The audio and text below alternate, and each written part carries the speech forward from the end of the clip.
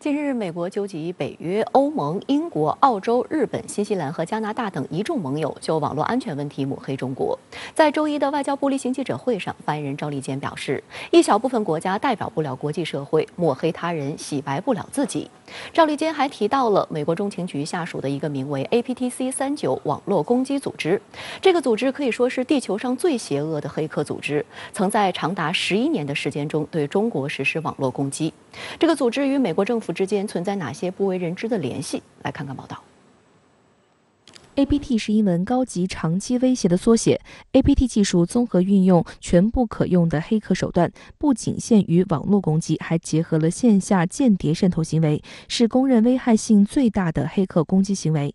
中国是 APT 攻击行为的主要受害国。APT C 三九由网络安全公司奇虎三六零在二零二零年三月发布的一份报告首次编码命名，其中的 C 代表受攻击对象是中国，三十九意味着这一组。织是该公司发现的第三十九个针对中国的 APT 黑客团体。报告指出，针对中国的 APT 攻击主要集中在北京、珠三角和长三角等经济发达地区。以针对中国航空航天科研领域的受害情况为例，APT C 三九对相关核心机构的系统开发人员长期进行定向打击，例如以国际会议为掩护，向科研人员发送带有木马的邮件，或者赠送带有网络攻击武器的 U 盘。一段时间以后，科研人员周围的电子设备就形成一张黑客网络，常年不断窃取情报。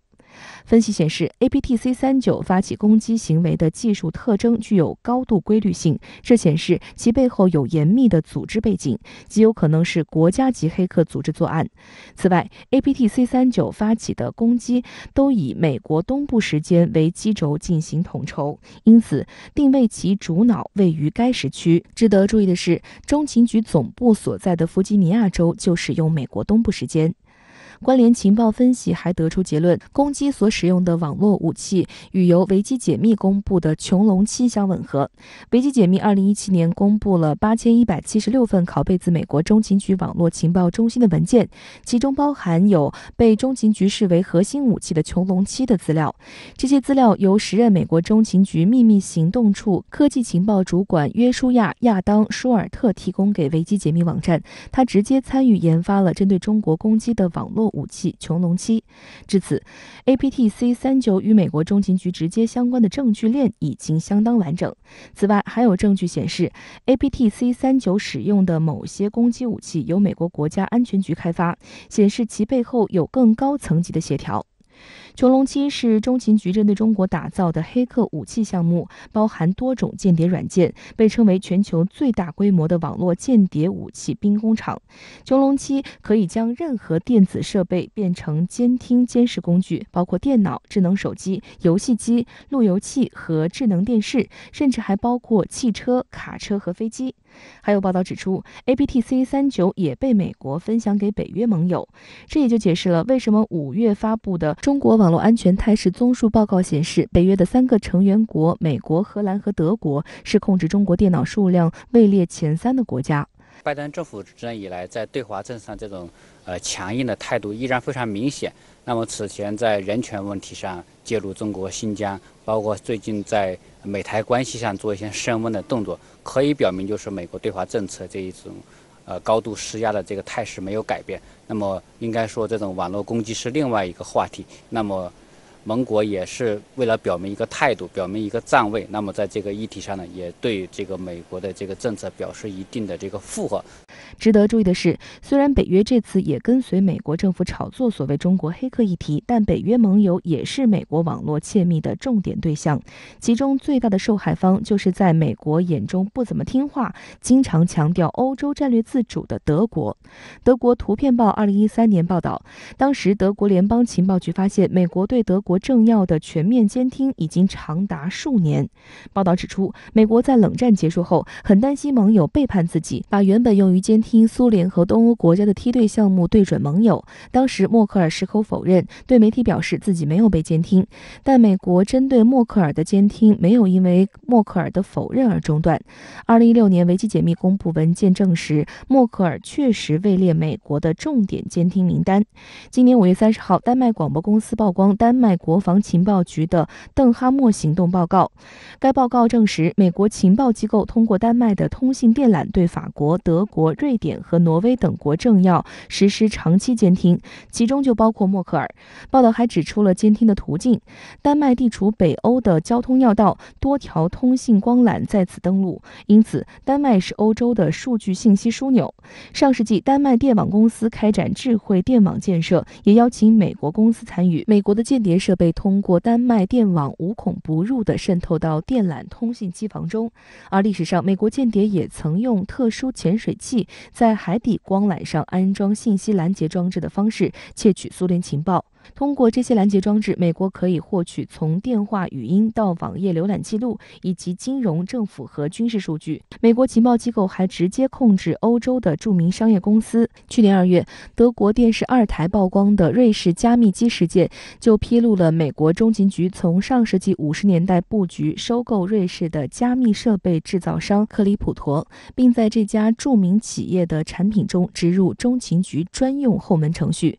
中情局可以在任何时间解密这些国家的核心机密。德国电视二台认为，全球除了中国及苏联之外的几乎所有国家都使用了这家公司的产品。这也解释了上世纪的一些间谍血案，涉及伊朗、利比亚和埃及等国。美国为了维护自己的霸权地位，那么不仅是对敌人不放心，对自己的盟友也不放心。那美国对盟友的监听，应该说历史是非常悠久的，特别是。像这个德国、法国这样的铁杆盟友的高级官员，甚至像默克尔也是在监听的范围以内。这实际上暴露了，就是说美国为了自己的霸权的这个利益呢，应该说是要把这个呃这种监控网络是遍布全球，而且是呃不区分对象的全面监听。毕竟美国在监听这个技术方面是非常的强大，而且美国的盟友在很多方面又很依赖于美国，所以这是一种很无奈。相关话题来连线特约评论员陈斌，陈先生您好。美国拉帮结派指责中国实施网络攻击的时候，不断爆出美国及其盟友相互监控的丑闻，您对此如何看？主持人好，美国及其盟友相互进行秘密的网络监控，实际上呢也是一种网络攻击。通过监控获得商业机密和政治情报，当然呢是网络攻击了。斯诺登呢早就揭露了美国网络监控的广度和深度。阿桑奇透露，美国开发的网络武器超过两千多种。伊朗核设施遭遇美国网络攻击而停运呢，更是家喻户晓。最新的两个案例是美国与丹麦合作监听瑞典、挪威、法国及德国高层官员的电话对话及其短信内容；美国与以色列的情报网络呢合作，用飞马间谍软件软件对五万个利益相关方进行隐私侵犯。信件截获，这个欺诈性的进入、潜入计算机系统等等，监控对象呢包括政治人物、国家元首、这个企业总裁、活动人士、皇室成员以及媒体的记者。他们不仅呢监控盟友，比如说法国总统马克龙，同时呢也监控本国的记者。美国有线电视新闻网、这个《纽约时报》和半岛电视台呢都被秘密的盯梢着。美国和欧洲的企业之间呢，军事机军事机关之间也经常呢。相互监控和攻击，那么波音和空客之间呢，就存在商业机密监控和技术情报的对垒。所以说呢，美国呢才是全球最大的网络攻击源。但问题在于，你美国带头进行大规模的网络攻击和网络监控也就罢了，你却拉动盟友造谣生事，想把自己的邪恶呢甩锅给中国，那就太龌龊、太邪乎了。哎呀，这。美国的盟友呢也是够软弱，自己被美国虐，还要呢跟着美国来攻击中国，这有点像那个扶不起的阿什么斗了，这呢是令人遗憾的。好的，谢谢陈先生以上的分析，请您保持在线，我们稍后还会继续连线您，谢谢。周二，香港保安局局长邓炳强发表其上任后首篇网志。邓炳强指出，香港国安法威力有目共睹，令暴力行为锐减，不少昔日的港独势力领头羊败走香港。邓炳强还表示，保安局及下辖纪律部队会时刻做好准备，配合国家策略，不断提升执法及协调能力，防范国家安全风险，应对治安挑战。乱港分子黎智英创办的一传媒上月十七号停牌，旗下的苹果日报因涉嫌触犯香港国安法，被香港特区政府冻结三个户口，涉及一千八百万港元。同时，一传媒及苹果日报多名高层，包括一传媒行政总裁张建宏被捕。苹果日报于上月二十四号发行最后一份报纸后宣布停刊，网页版则在同月二十三号晚上十一时五十九分停止运作。周三，香港区域法院对前年在港铁沙田站发生的袭警及暴动案作出判决。二零一九年九月初，大批暴徒在香港沙田站包围警员并冲击控制室，涉案三名被告被控暴动罪、袭警罪及管有攻击性武器等多项罪名。法官郭启安判刑时指，被告公然暴力袭击警员、冲击控制室，案中情节非常恶劣，法庭不会容忍。三人被判入狱一年至三年。九个月不等。在另外一起案件中，四十岁的被告吴伟豪，二零一九年十一月二号在元朗停车场被搜出汽油炸弹之后，在其工作的货舱内再搜出一百公升汽油及制造汽油弹的材料。法官引述专家的报告指，这些汽油足以制成三百支汽油弹，令人啧舌。最终判其监禁五年。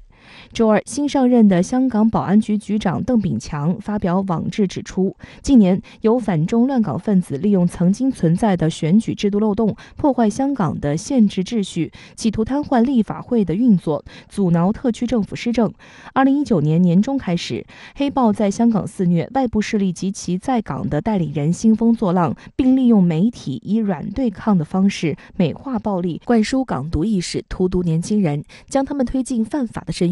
最终催生了极端思想和行为，以致本土恐怖主义。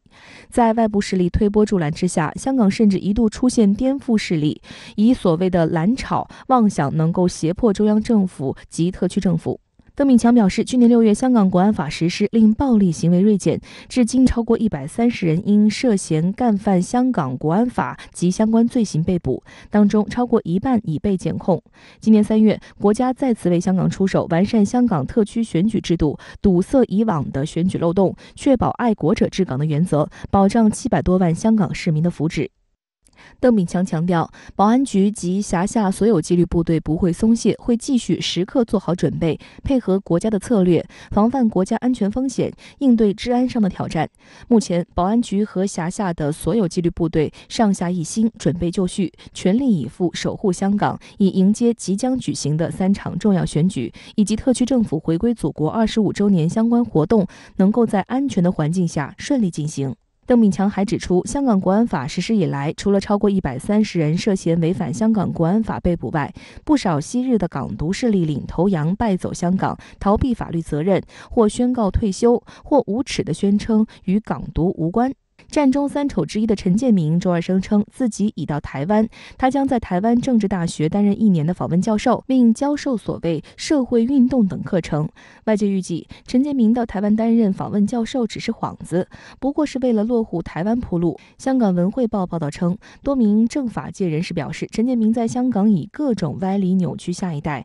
疑惑至今。而其服刑之后的种种美化违法行为的言论，更暴露其至今没有悔改，令人担心。他赴台后是否会与台独分子沆瀣一气，继续散播反中乱港主张？他们强调，香港国安法具域外效力，若陈建明在台违反香港国安法，也需承担相应的法律责任。按照香港国安法的规定呢，第三十七条明确规定，香港的永久居民、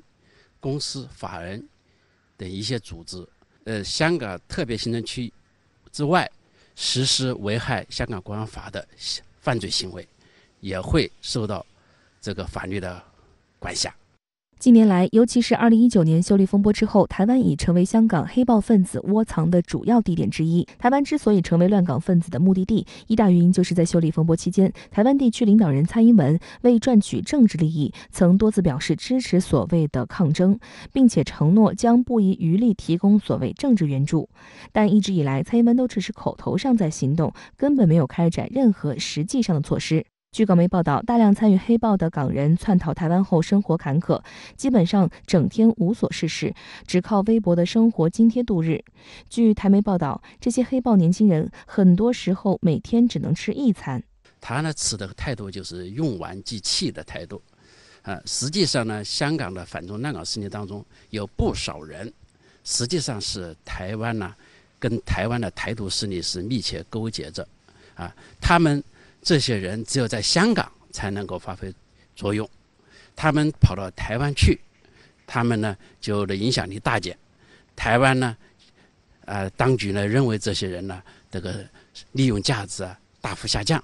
在香港问题上，境外势力并未收手。去年香港国安法出台后，美国政府就想方设法借此打压香港，恐吓在港外国企业。上周，拜登政府又无视商业呼声，炮制了所谓的“香港商业警告”，这让不少在港媒企感到担忧。香港美国商会会长塔拉约瑟夫近日接受了多家港媒以及包括《金融时报》在内的外媒采访。约瑟夫直言，香港仍是国际企业营商的好地方，至今看不到在港注册媒企。其数量大幅下降，商会也不建议美企撤出香港。We are certainly not advising companies to withdraw from the Hong Kong market. Hong Kong is still a very good place for international companies to do business. Despite the changes that we've seen, Hong Kong still has an excellent infrastructure. Uh, it has free flow of the internet. And when it's not COVID, Hong Kong has great connectivity to many different parts of the world. And of course, it has connectivity with mainland China, which is an extremely extremely important market for many different sectors. 香港美国商会已经在香港经营并蓬勃发展超五十年，拥有一千四百家会员企业，涵盖从金融服务到法律、物流和房地产的各行各业。在财富五百强企业当中，有超过百分之九十企业都在香港设有办事处等机构。商会刚刚还在香港中环购置新办公地点，希望以此促进对话和交流，倡导公开透明、信息自由流动、法治和良政善治。商会上周六发表声明指出，香港作为国际商业中心具有至关重要的作用，仍然是东西方贸易和资金流动的重要且活跃的推动者。面对近年来日益复杂的地缘政治环境，商会表示支持其会员企业应对挑战和风险，同时也继续抓住在本地区的商机。政治用意就是想通过打香港牌来遏制中国的发展，他并没有考虑到啊驻港企业的利益。实际上，香港的这个嘛。美国的商会这些企业，他们用自己的实际行动，对香港的发展前景和对香港国安法的实施，投下了这个嘛支持的一票。好的，我们继续来连线特约评论员陈斌，陈先生，我们再来看香港态势：一是战中三丑之一的陈建民去台湾交社运了；二是苹果日报前执行总编辑林文宗被捕。您是如何来看待这些事儿？这说明香港国安法的牙齿锋利仍然在紧紧地咬着危害国家安全的各种行为。去年六月底，香港国安法实施以后，至今呢，超过一百三十人因涉嫌违反国安法以及相关的罪行被捕，当中呢，超过的一半已经被监控。那么，香港特区政府保安局局长邓炳强说呀，在国安法的震慑下，不少昔日的港独势力领头羊败走香港，或者宣告退休。有的呢，则继续受到法律的追击，令暴力行为锐减。那么，在这样的背景下，看待这战中三丑之一的陈建明逃往台湾，看待前《苹果日报》执行总编辑林文宗被捕，就很清楚了。他们呢，就是香港国安法要追击的极少数。那么，这样呢，也说明啊，这个香港的警方呢，在进行严格的国安执法，那些分裂国家、颠覆国家政权。从事恐怖活动、勾结外国干预势力的人，不管怎么躲、怎么藏，一个也不会放过。好的，也谢谢陈先生跟我们共同在线分享您的观点，谢谢。英国国防大臣在日本宣布，年底起将在亚洲永久部署两艘军舰，同时英国航空母舰战斗群已九月停靠日本。此次英国航母远航近乎裸奔，护航舰艇更是一路磕磕绊绊。英国为何要进行卖惨式航母首秀？实力今非昔比，小马拉大车的英国是想重温日不落帝国旧梦，还是进一步与美国印太战略捆绑？曹卫东、吴健深入分析。欢迎回来，本栏目由东鹏灵堂冠名播出。累了困了，喝东鹏灵堂。英国与日本在周二发布的联合声明中表示，伊丽莎白女王号航母打击群在九月抵达日本后，英国将在该地区永久部署两艘军舰。外交部发言人赵立坚对此回应：“我们尊重各国航行自由权利，但坚决反对任何国家对中国炫耀武力，破坏地区的和平与稳定。”此前，英国航母打击群已被发现超百人感染新冠病毒，还有一名水兵死亡，原因尚未查明。尽管英国海军宣称目前尚不准备改变访问印太地区的计划，但外界普遍担忧，如果该航母编队的疫情得不到控制，它将迎来一场灾难之旅。这支拼凑起来的舰队是将继继续所谓全球航行，还是会打道回府？英国在亚洲部署军舰又有何企图？来看看详细分析。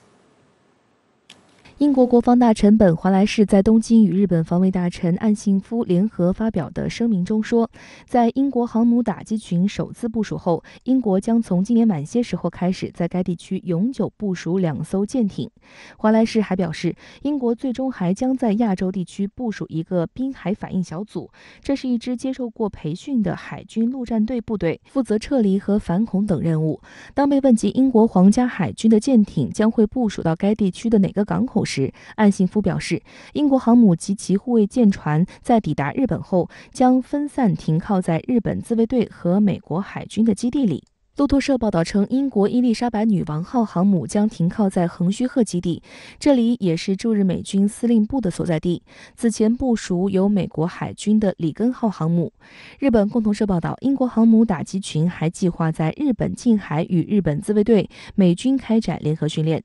呃，我认为这个英日联手呢，这是很难做到的。首先呢，就是美国是日本的啊，它和日本形成了一种军事盟国的这种关系。同时呢，是以美军驻扎在日本的这军事基地来保卫啊，就是日本的安全。那么，即使呢短期的为美国啊，就是站站台或者是帮帮忙的话，也是一个临时的。如果让它长期在这个日本啊驻扎一个。只是象征性的意义，还有一个呢，就是。它不可能和日本进行这种长期的密切的军事合作。据悉，英国皇家海军伊丽莎白女王号航母于五月二十二号出海，开始为期七个月的全球航行。按照英国国防部制定的计划，这次部署行动将穿越地中海、印度洋，前往太平洋，总里程四点八万公里。部署中的重点任务有多项，其中之一就是进入南海海域，执行所谓航行自由行动。整个打击群共有三千七百人。最最新消息显示，英国伊丽莎白女王号航母目前已经进入印太地区。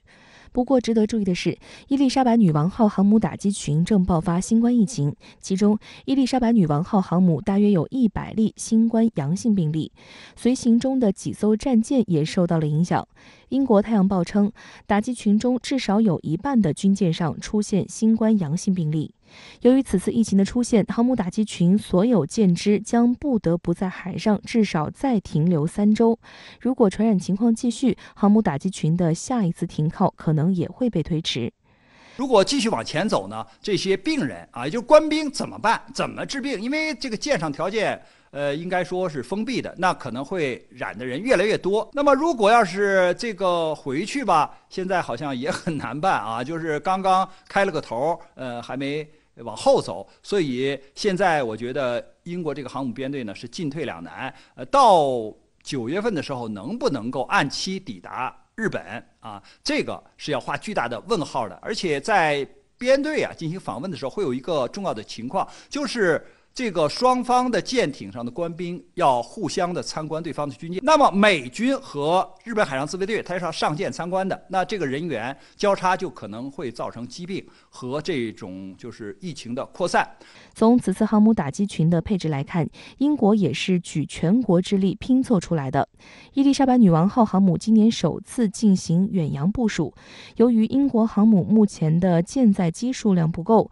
英国只能和美国海军陆战队的 F 三五 B 联合组成航母舰载机编队，并邀请美国、荷兰军舰加入，拼凑成一个航母打击群。目前，航母的护卫舰包括英国海军的二十三型护卫舰李士满号。肯特号、四十五型驱逐舰卫士号和钻石号、综合补给舰维多利亚堡号和春潮号、机敏级攻击核潜艇机警号，以及美国海军的苏利文兄弟号驱逐舰和荷兰海军埃弗特森号护卫舰。此次伊丽莎白女王号爆发疫情，会否波及美军和其他国家军舰，还是个问号。航行中还有两艘随行驱逐舰意外掉队，分别为钻石号和卫士号。这两艘驱逐舰没有跟随航母打击群一起进入印度洋，钻石号返回位于地中海的港口，卫士号则返回了直布罗陀。但英国海军并没有公开这两艘驱逐舰脱离航母打击群的具体原因，只是说是由于技术问题。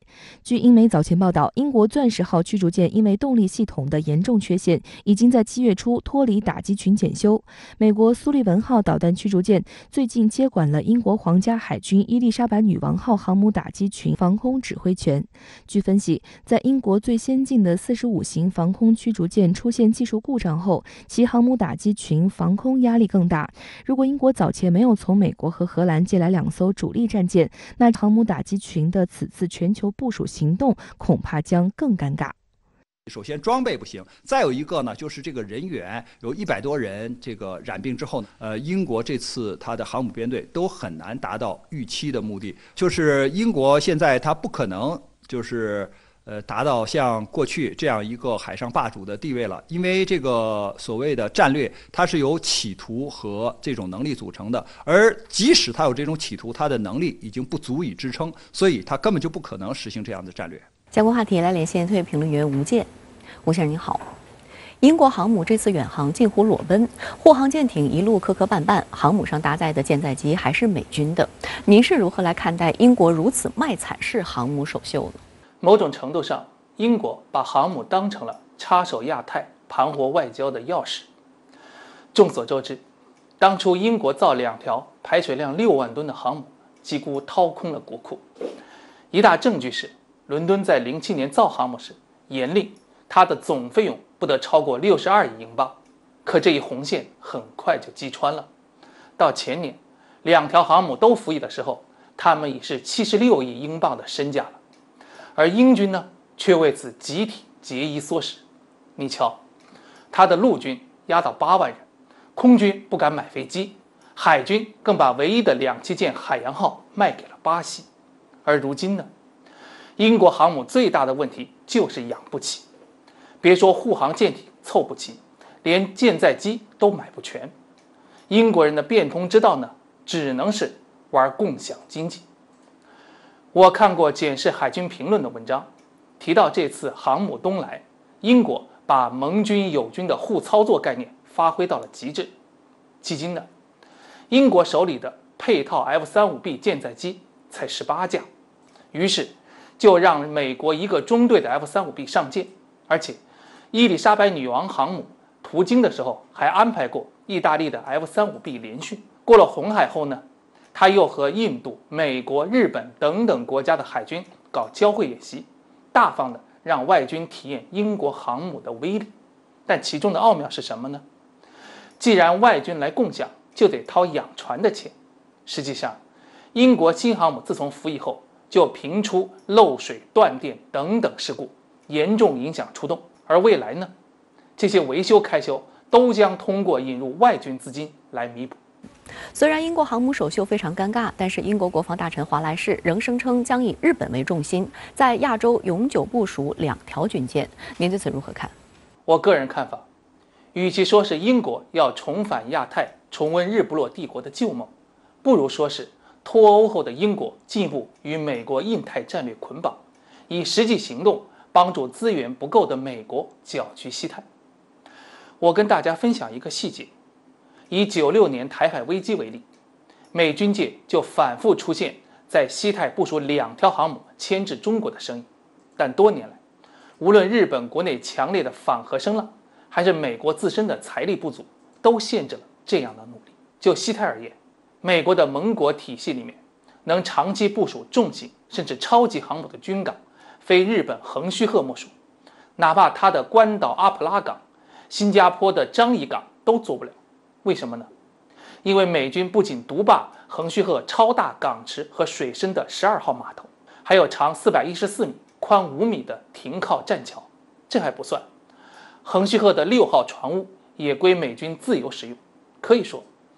从夏威夷往西，直到印度洋，都没有第二处能与横须贺相比。可是呢，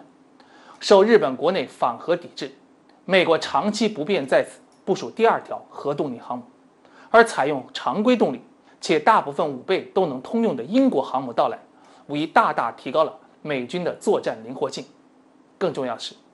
目前除开现在常规起降舰载机的尼米兹级航母，美国目前在日本还有多条搭载 F-35B 垂直起降机的两栖攻击舰，这还不算正进行搭载 F-35B 改造的两条日本准航母。如果再加上相同配属的英国航母入列，无疑将大大提升美军及其盟军的海空突击力量，给中国制造麻烦。我记得。美国兰德早在二十年前做过一个测算，那就是如果在西太因岛屿问题发生针对军事大国的海空较量，如果美日只投入一个舰载机联队和一个陆基战斗机联队，也就是一个美国航母打击群加上驻日美军的陆基航空兵，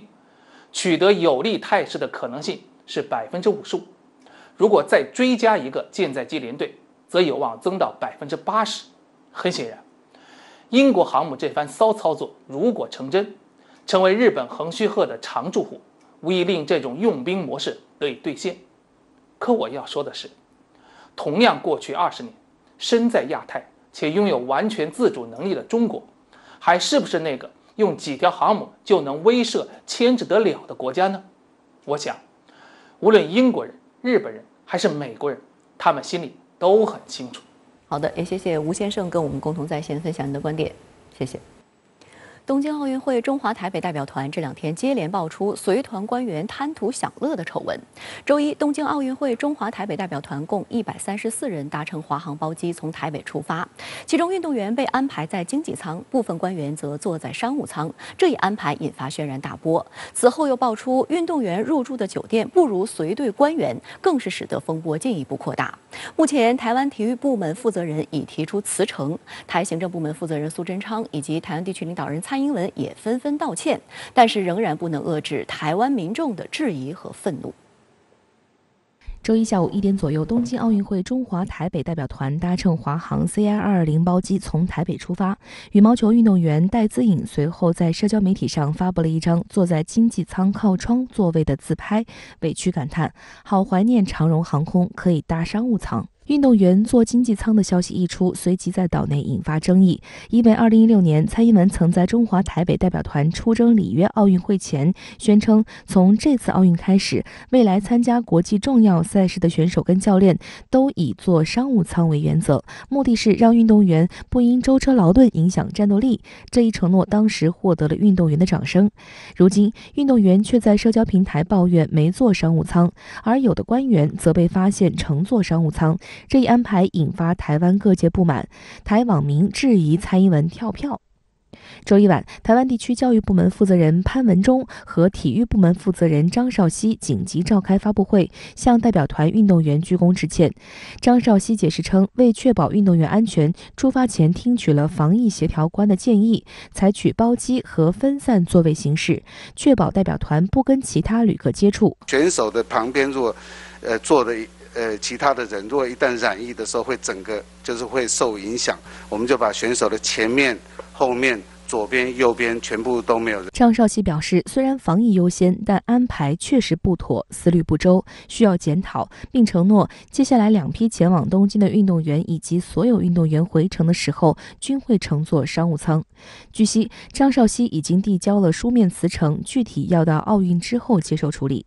周一晚，台行政部门负责人苏贞昌也在脸书致歉称，奥运的主角是选手，不是陪同的官员，将追究该追究的责任。周二上午，苏贞昌接受采访时再次公开道歉。这一次因为呃赛事延期及疫情的要求，要比较大的空间，所以还包了整架包机。却因为没有事先给选手做最好的安排跟妥为说明，尤其最不该的是官员来挤进商务舱，这很不对。那我们一定会查究相关责任。周二晚，苏贞昌再次在社交媒体道歉。不过，对于苏贞昌的道歉，有网友则留言讽刺：三度道歉是在演哪部戏？故意表演给大家看，博取同情，还是在酸选手？也有人批评苏贞昌不务正事，只会廉价道歉了事。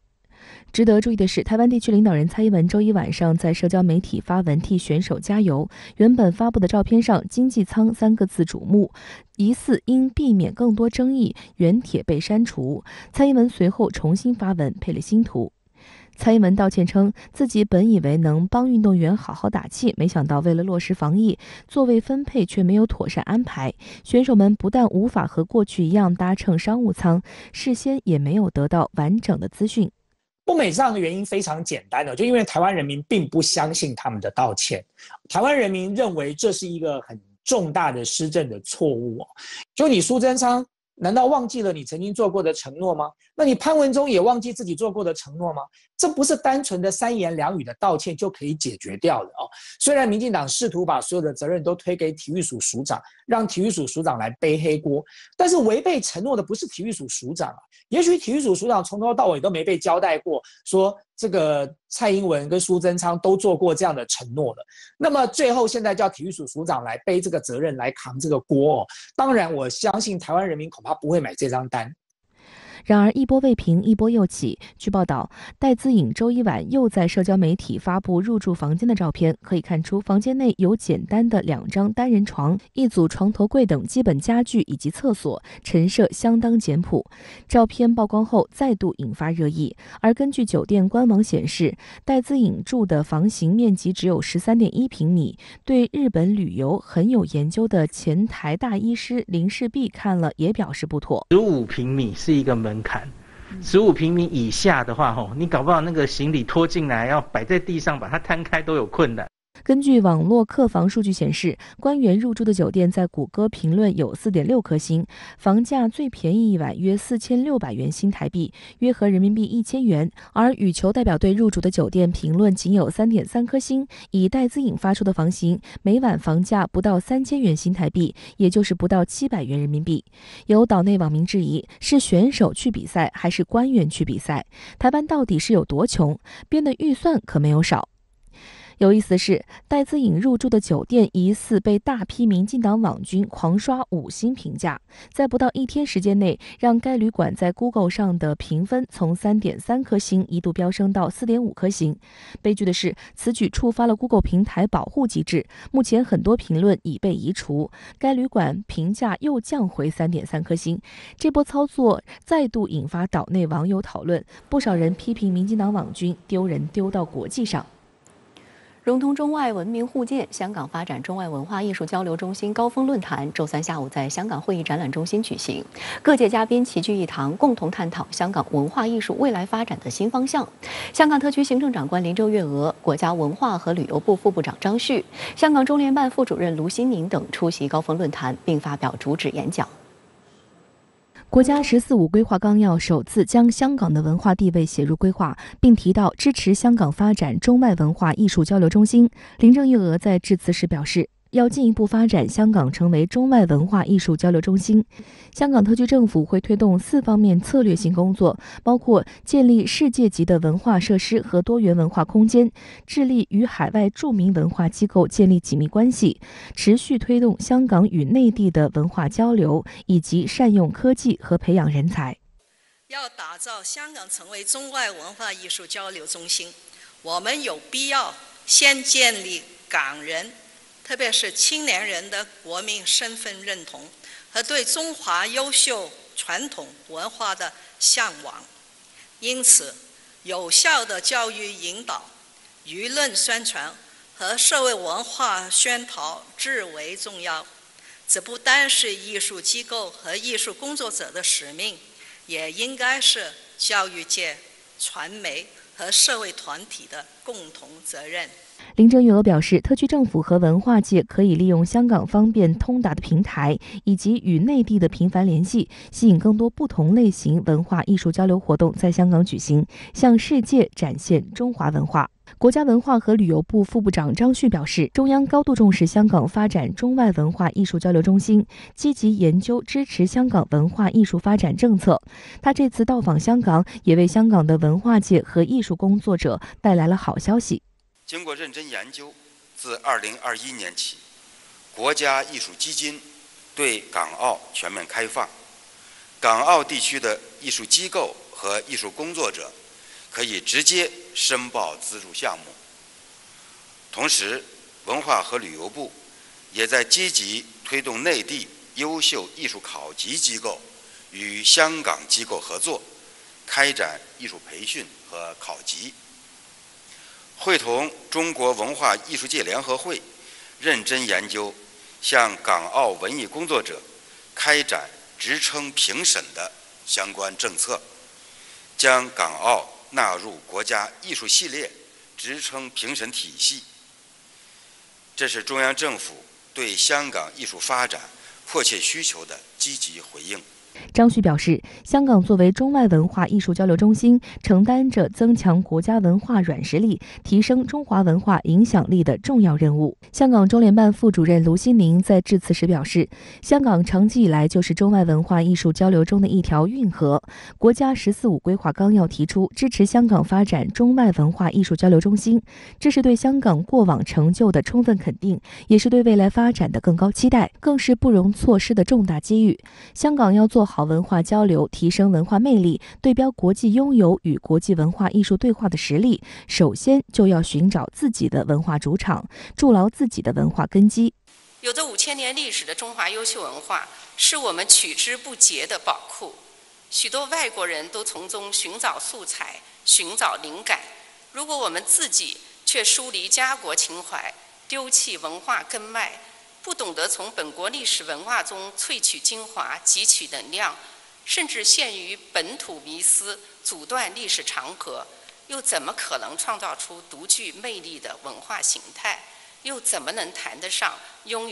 有拥有与世界对话的实力？出席活动的香港演艺界人士表示，非常支持将香港打造为中外文化艺术交流中心。我哋都希望有国家嘅艺术基金嚟。誒資助同埋支持我哋香港嘅文化藝術啦，咁佢而家佢今次誒琴日咁啦，都有啲領導咧同我哋講解點樣可以去申請同埋攞呢啲藝術基金。我諗呢啲錢咧對於我哋嗰種運作咧就會有好大幫助啦。一來就幫助我哋創作啦，然後就幫助我哋好多香港嘅藝術家咧可以進入去內地演出啦。咁我諗對於整個文化藝術咧，都會將來都會提升嘅，同埋變咗提供咗好多機遇俾佢哋。誒國家嘅藝術基金咧，就我哋可以全面開放俾我哋用啦。咁而就我哋香港咧，好好利用我哋誒我哋呢個完善嘅法律同埋我哋誒擁有嘅國際文化平台咧，金融地地位咧，係好好咁樣將外國嘅投資者帶入嚟。誒亦都將我哋咧香港嘅誒作品啦，同埋一啲藝術嘅嘅作作品咧，係好好咧走入灣區，同埋咧係入中國，將中西文化交流咧係好好做好。